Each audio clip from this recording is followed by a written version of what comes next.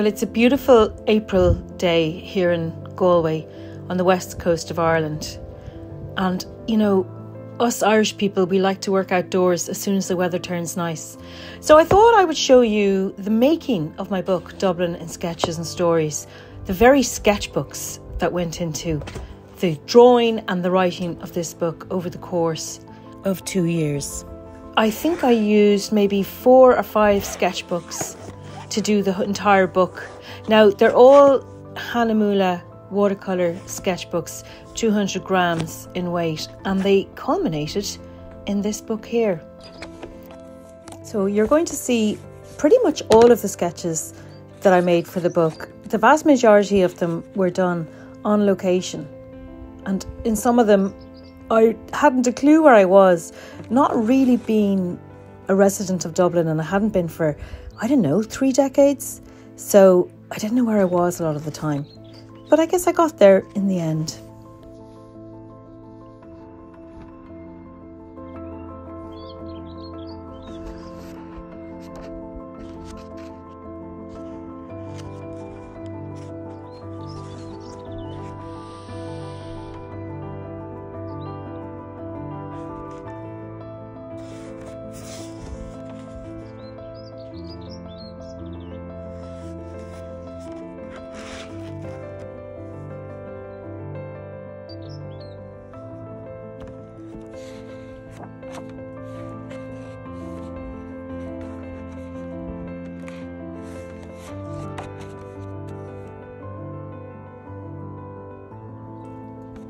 The reason I want to show you my sketchbooks right now is because there aren't that many books left in the first edition of Dublin and Sketches and Stories, and I have no idea whether the publisher is going to reprint them or not. But you know, at the end of the day, nothing can beat seeing the sketchbooks with the original work in the flesh. Now, I know this isn't in the flesh, but it's as close as I can manage for you. So I really hope you enjoy seeing the actual ink and watercolour traces that I made sitting there on the streets of Dublin.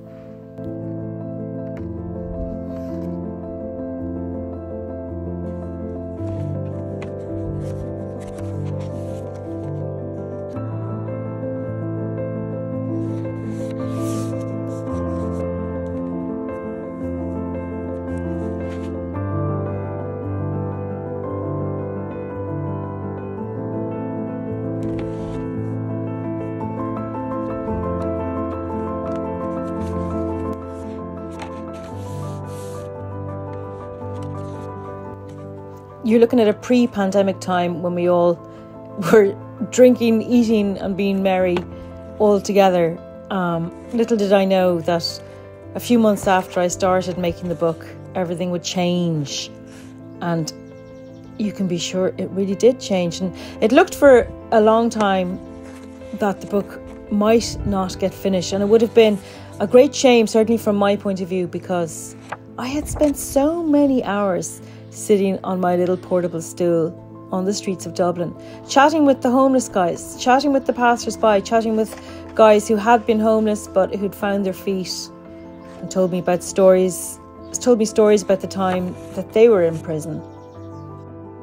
But they'd got their lives together in the meantime, which was always nice to hear.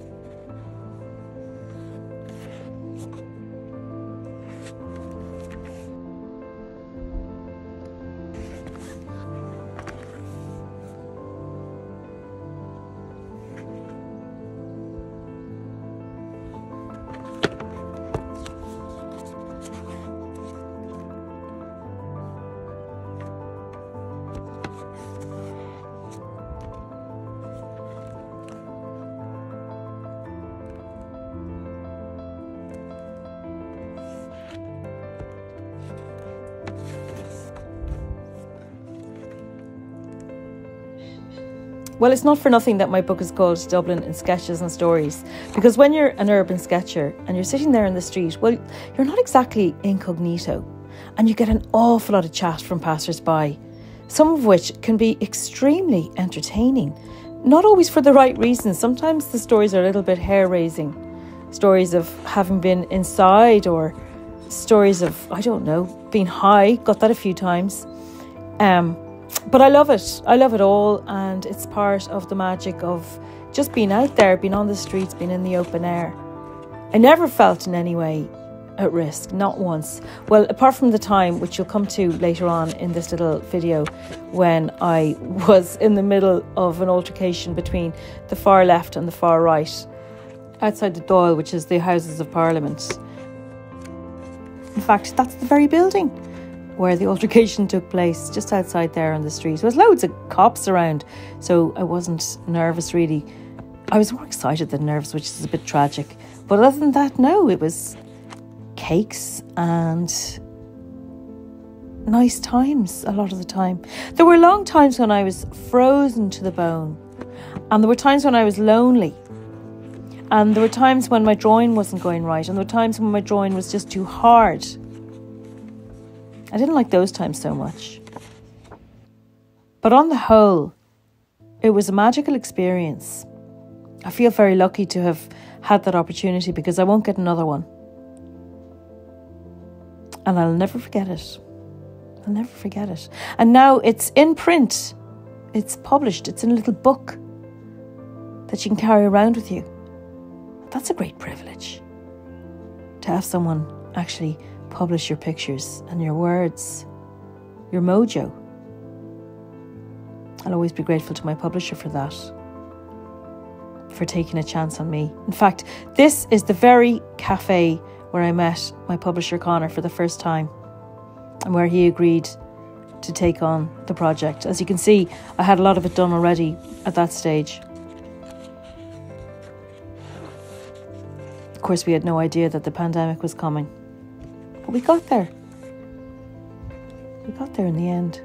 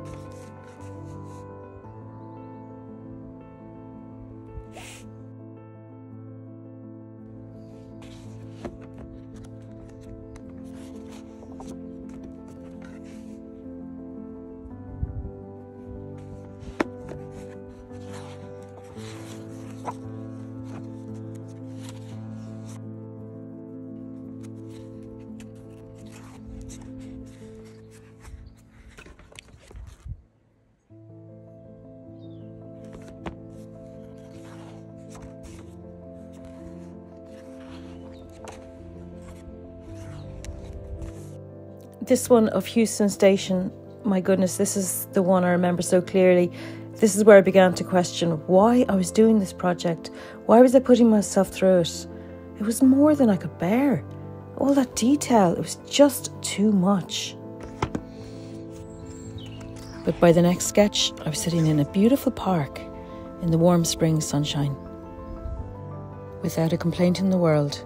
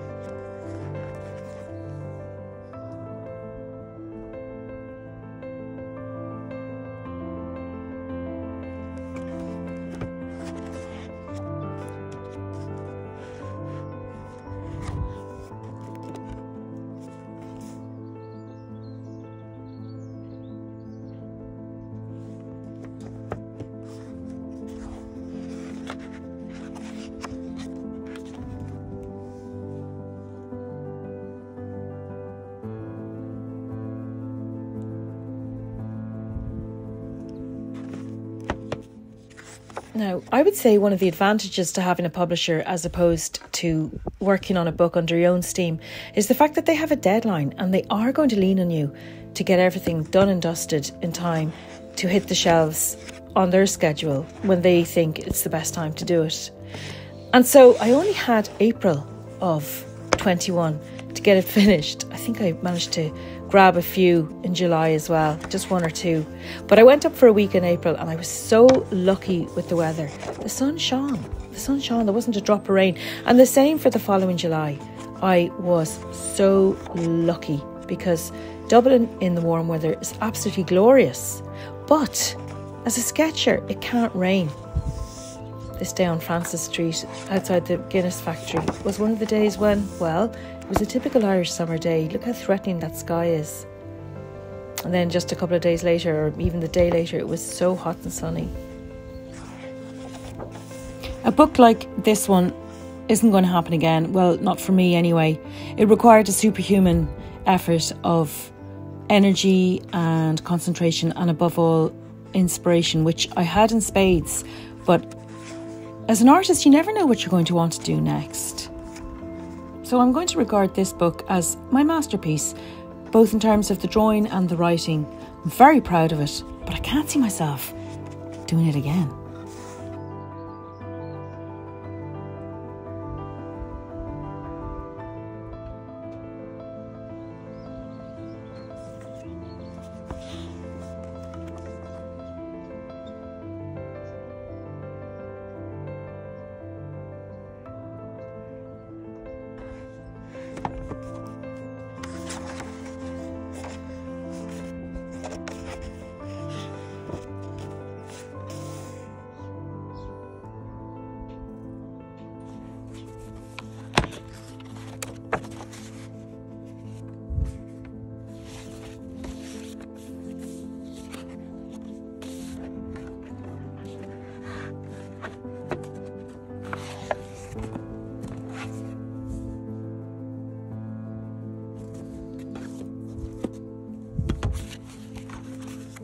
As well as the large sketchbooks, I also have this little small one, the A5, and I use this from the very start of the project right through to the end. So there's a great variety of sketches here.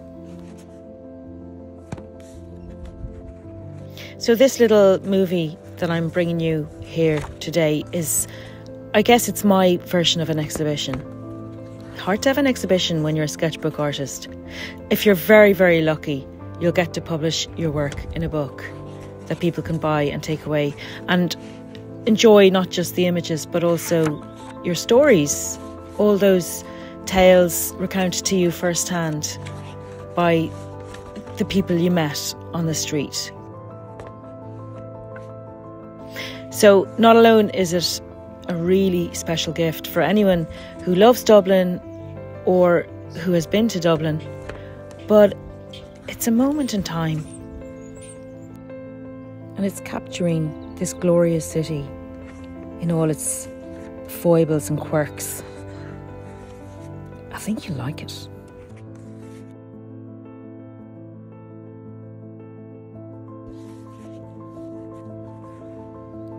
The pictures you've seen in these sketchbooks were all done in ink and watercolour.